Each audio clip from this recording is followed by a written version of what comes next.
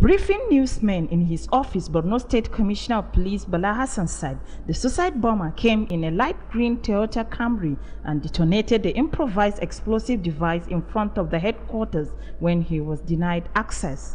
As a result of the bomb blast, one policeman was killed, four civilians who were passing by a major highway also lost their lives, and uh, 12 others are receiving treatment, including about five policemen at various hospitals in the city.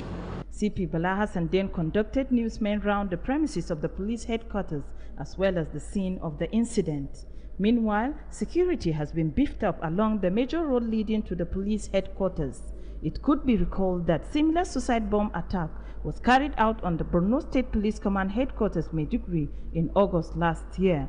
In Maiduguri, Naomi Abuku, NTA News.